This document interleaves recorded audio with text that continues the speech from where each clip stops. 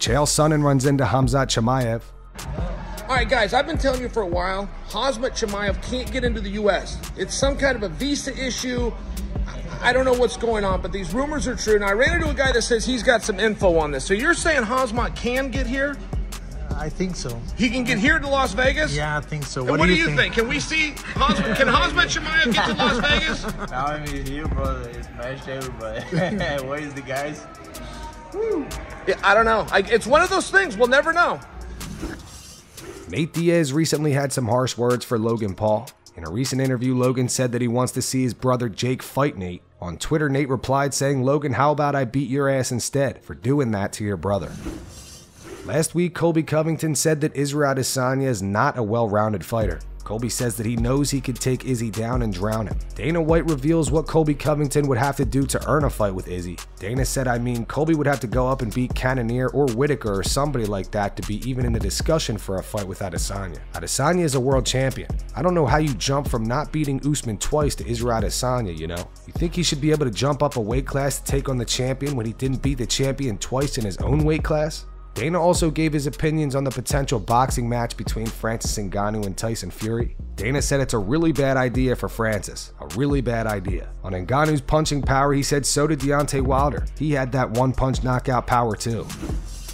More details have come out on the Cain Velasquez situation. If you're not caught up on this story so far, I suggest you go watch our video from yesterday and the video the day before that. Cain is now facing six charges following his arrest on Monday. In a criminal complaint acquired by MMA Junkie, Velasquez has been charged with attempted murder, one count, shooting at a motor vehicle or aircraft, one count, assault with a firearm, three counts, assault with a deadly weapon, three counts, willfully discharging a firearm from a vehicle, one count, and carrying a loaded firearm with intent to commit a felony, one count.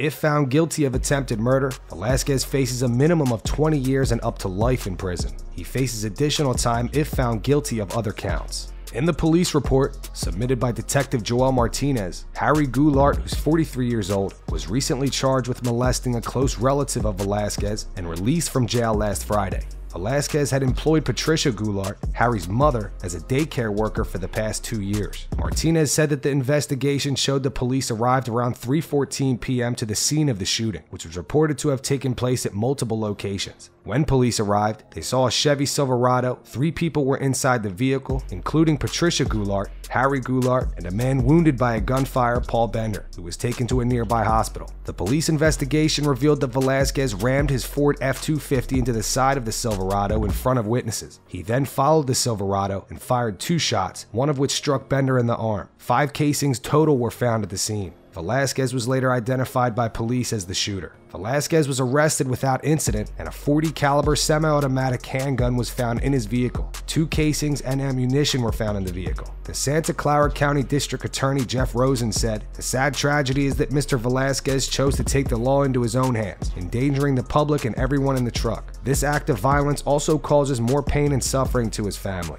Since our video yesterday, even more of the MMA community has spoke up for Cain.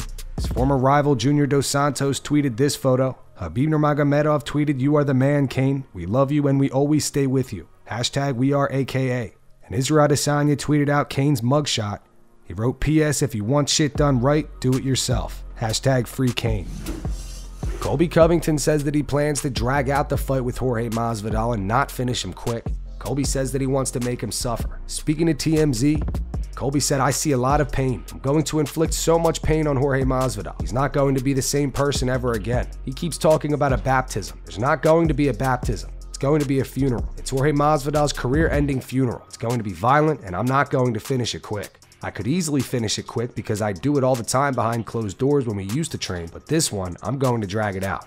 I'm going to make him suffer, and it'll probably be the first time in UFC history you see a guy in a main event just verbally tap out and say he can't take no more of a beating. Following Jamahal Hill knocking out Johnny Walker in the first round on the Believe You Me podcast, Anthony Smith told Michael Bisping that he would be open to fighting Jamahal Hill. This week on the Believe You Me podcast, both Anthony Smith and Jamahal Hill were on together. Here's the clip of them discussing how it's actually difficult to prepare for Johnny Walker, not due to the fact that he's very skilled, but more so because he's so unpredictable. Be sure to check out the full podcast with Bisping, Smith, and Hill.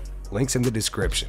Listen, man. Obviously, we're in the same weight class, so I, I, I, we've come across Johnny Walker and, and and had that name on the table and sat with the coaches in the room and broke that dude down. And and kind of uh, our assessment of him has always been he's probably the least skilled, but one of the most difficult guys to fight because he's just unpredictable. You know what I mean? Does, there's no way to really, yeah, there's really no one to, no way to game plan for him. He's big, he's strong.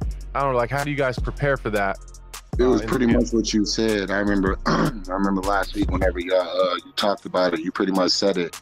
Uh, you pretty much hit it on the head. Let him get his crazy shit out of the way early on, and then just you know I mean, kind of sit there. And you can't, you can't do spinning, jumping, cat, jumping attacks, no matter how many kicks you like though you can't do that shit forever. You know what I mean? Especially not how you would need to to keep me off of you. So yeah, it was pretty much just let him let him let him let him throw his stuff out there and eventually get in and make it a fight. A guy like Johnny, like he doesn't really use his length and his physical gifts that much anyways. He did. He did though. He did though this time. If you notice, whenever uh whenever I tried to come and close the distance on him, whenever he was dipping out, he was using he was using the jab long to keep me from actually trying to cut him off. I think he, I think he is getting better as we. It's just it's just a process. In our video from last week, we showed the clip of John McCarthy on the Weighing In podcast saying that Islam Makhachev would have a hard time taking Bobby Green down. Here's Big John's reaction after Islam defeated Bobby via TKO in round one. Going into this, I said Islam's going to win the fight. I didn't have any doubts about that. But I did think that Bobby could make it through the first round. I did and he didn't. But eh, eh, and I and I look and it's like there's no excuses. Look, Islam's just that good, and we we know how good he is. But I said that you know he was gonna have a hard time you know getting the takedown, especially in the open, going to his legs. He never even tried it. That was smart. Pushed to the fence, then dropped down into his legs. Beautiful takedown, and dominant from that point. And I heard people again criticizing Herb for stopping the fight. It wasn't going to change. Nothing was going to change there, okay? Bobby wasn't moving. It was over. Islam checkmate. Done. Beautiful win.